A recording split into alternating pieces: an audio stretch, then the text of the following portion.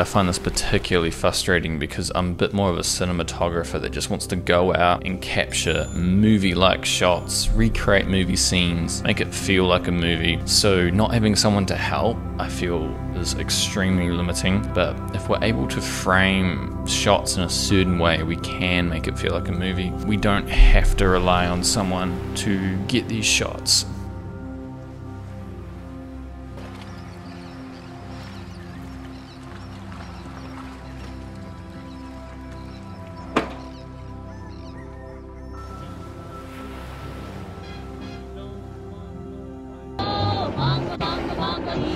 So these tips will help you break free of this constraint that is probably the most common constraint we have as filmmakers on YouTube. But when you do do it, there's something very meditative and very you're very much in the flow state when you are when you are creating filming yourself. I find this very painful this this process and it's not ideal because your shots feel really underwhelming compared to what they could look like. So we're gonna make up for that underwhelming feeling and frustration.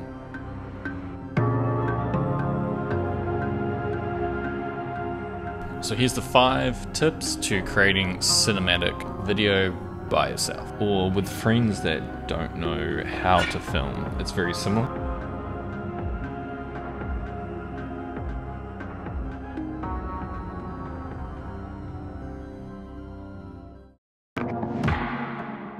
So getting people to help you out in your videos is one of the most limiting things there are. Shoot something that everyone loves to do. So, and then when you have a good idea to shoot, how you actually present that to your friends is important. So I always record movies. I can show my friends my exact vision on what I'm after. So I've got a movie shot list. So I'm in Bali where it's actually pretty easy to find people to help you shoot. I very often plan my shoots or have a different challenge, a different vision. And by planning this out, it's easier to ask people to help. These shoots very well thought out, interesting for everyone to join in and help you.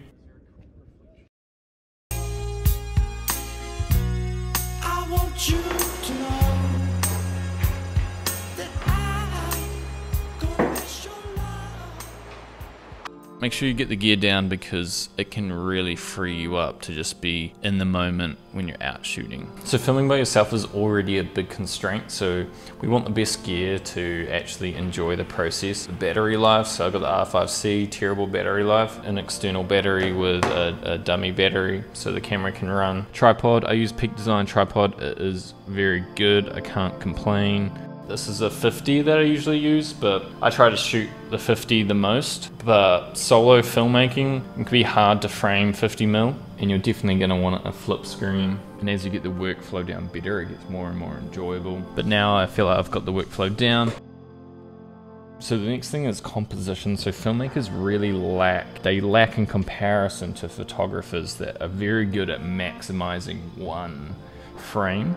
Filmmakers, they don't quite maximize the depth and the composition you could get in your frames. So you got to think more like a photographer when you're framing up your shots. Really maximizing it. You don't have camera movement to spice things up or the handheld feeling to make it feel more engaging. You have to maximize the depth and think more of, more like a photographer. You have to really, really think about the the depth to your image, how to create that and the right focal length to create that depth. And then when you're doing your compositions, you have to get a lot more creative with the angles. It really makes you think three times about your composition instead of just parallax, camera movement, rotation around the subject. And by doing this, you might actually realize how often you're overusing camera movement. So creating depth is very closely related to composition. So we use good composition to create depth in your image. So your image looks more 3D, the light is wrapping around multiple layers in your image and it creates a really pleasing image. So we use good composition to create a balanced image that has layers to it. So even if you're shooting something very simple, you want to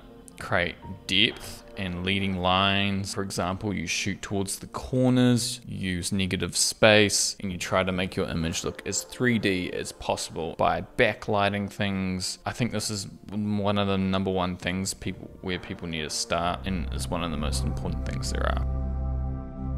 If you're filming with someone who doesn't know filmmaking, uh, gimbal is something you definitely want, or you need to embrace the handheld look and understand how your video is going to be edited and sound designed to match handheld, a more raw feeling.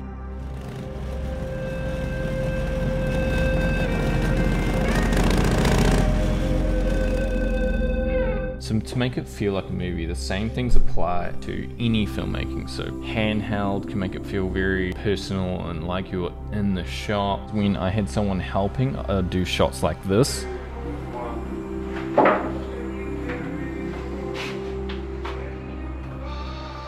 And then when I only had a tripod, I did shots like this.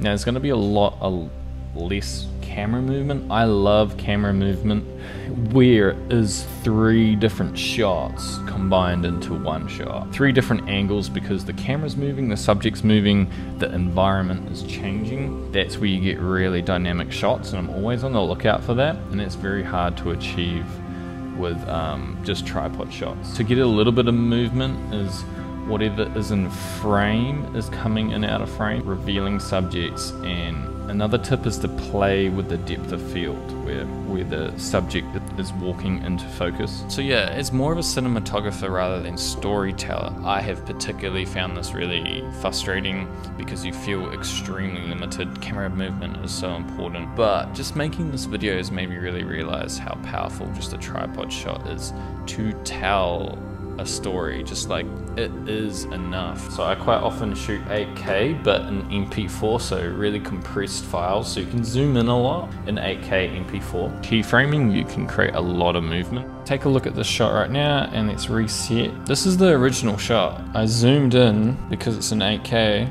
and because I just know these cinematography techniques, I'm able to do it in post as well.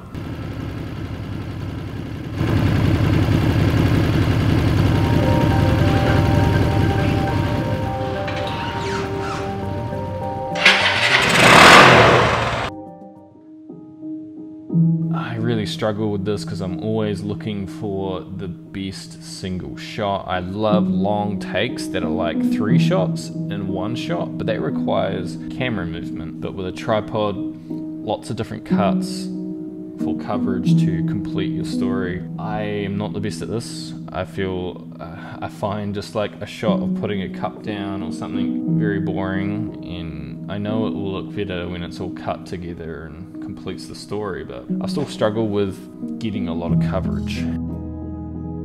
Just, just making this video, putting this, these shots together, it really made me realize that tripod shots are enough to tell a story. So it's inspired me to think a bit harder about telling stories, not just be a cinematographer and, and not just chase amazing looking shots and recreating movies, but some a bit more inspired to tell a bit more of a story now. The tripod shot is powerful, and sometimes we don't need this camera movement. Even though the camera movement is amazing, we can tell a story just with tripod shots. I've made my movie shot list available to download, so if you want to go out and shoot and recreate movie shots the way I do, you can get access to my movie shot list and you can take these out so you can download them and take them and use them as reference as you shoot. I have a new video color grading course if you want to color grade the way I do. Yeah, follow me on Instagram. Let me know what you want to see in the next video. I'll catch you in the next one.